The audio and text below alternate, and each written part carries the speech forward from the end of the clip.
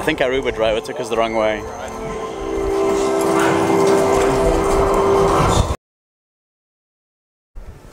Morning all. Uh, new day, new park. Ish. Oh, I didn't actually look up when um, the last time we were here was. It's gonna be at least happened is. three or four years since we have been Hang on. I can tell you. to this particular park. And when you find out which park, you'll know exactly why we haven't been and why we've come. Yeah. On. Man looks up thing on the internet. Ding, dong, ding, ding, ding. There we go. Four years. We haven't been here in four years. Four years. Four years. Anyway, we have come. SeaWorld. Must have come here when Blackfish had come out Because we didn't buy anything. because I reckon it's been three, personally. no, because I remember the really bad puns. Oh, yeah. yeah. Yeah, three years. We haven't been Yeah, here in three, three years. years. Uh, oh, Journey to Atlantis is closed. What a shame. That was it. Apparently, yeah. Uh, we'll be getting wet today. So yeah, we just arrived at SeaWorld and we're now going to find out about a disability pass for James. So, guest services. Oh. And then, and then roller coasters.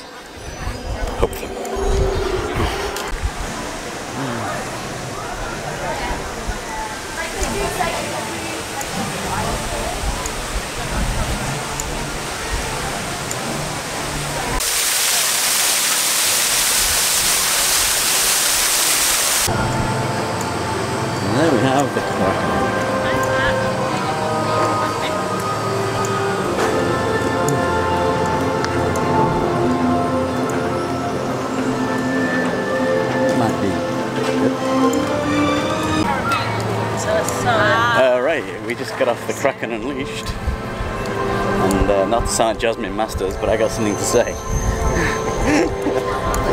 that was fucking shit. They've ruined a perfectly, perfectly good roller coaster for a cheap gimmick. Um, Yeah, that was wank. yeah, Like, unbelievably so. yeah, the, One, it took us six minutes to actually board and then leave, which is too long. which is way too long. How on earth do you expect to get people through a ride when it takes longer to sit people in the car than it does to to get around the ride? ride. But yeah, it took us six minutes from boarding to leaving. Uh, It was a good. the VR was crap. The VR wasn't. Yeah, it was Like it was like on the on the the lower end of VR. Yeah. And because of it, you. It, it just felt like a motion simulator. It was like a, it was awful. it no, I like a cheap motion it. simulator instead of a really Um, good roller coaster. Also, the biggest thing at SeaWorld is you have to pay for your lockers, Yeah. even while you're riding.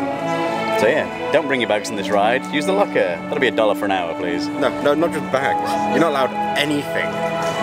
Even glasses. Yeah. They said that you had. I was like, uh, but how can we actually see to get up to it? No, No. just all of it. I mean, front of the. like, We were literally front of the queue. Yeah. We were next car out, and it took us 20 minutes to half an hour. The whole thing.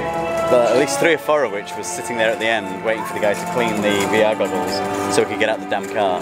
Who have no training on how to. So, oh, how was that? Was that excellent? No. Okay, I'm going It was better before, and it was like, oh, this is awkward.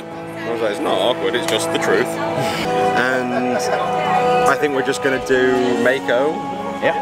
and get the flock out of here. I mean, we're not going to go see the turtles. The turtles, no, I, I hate that fucking ride. Richard, you're probably going to have to put your bag in a locker To stand in a room.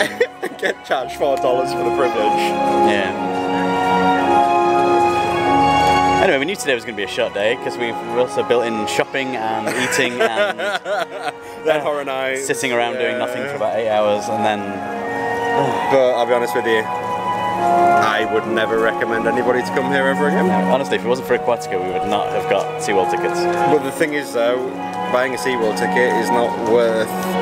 Wait, well, Aquatica is not worth buying the whole SeaWorld. It's not No. for Roa's Rapids. But anyway, On we go. and we're Moving on. Okay, so we've just been on the Mako, and uh, which is that. uh, it was good. yeah, it was actually a good ride. Was it worth the extra dollar we gave them for the locker? nah. Seriously, I, If it was two dollars, they could buy a black market killer whale. I don't Okay, what I was just saying to Richard was, what really gets me, sorry I'm taking my strap off because we're not going on anything else. Um, what really gets me, what really grinds my gears is, okay so I was given the accessibility pass for here and we got to Mako and the guy was just like, "Oh no, don't don't use that. It's like it's it's a walk on." But yet he took the quick queue pass from the people behind us, so they're selling us the quick queue. Yet they know for a fact, full and well, that there is no queues for anything. Again, reaffirming the fact they are penny pinching bastards. I don't care. They can listen to me all they like. They're not going to listen to us. Let's face it. They're not gonna- don't listen to uh, anyone. You know what? It's not a lie. No. I think any company that sells a like a fast fast queue system like actually sells it when they know full well that there's no reason to sell it. Uh, yeah. And not good people. No. Well, whatever. Anyway, we're leaving. we have been here. An hour? We got in. Yeah, we've been here about an hour.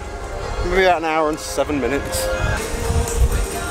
Yeah, if they ever remake Jaws 3 here again, um, I'm rooting for the shark.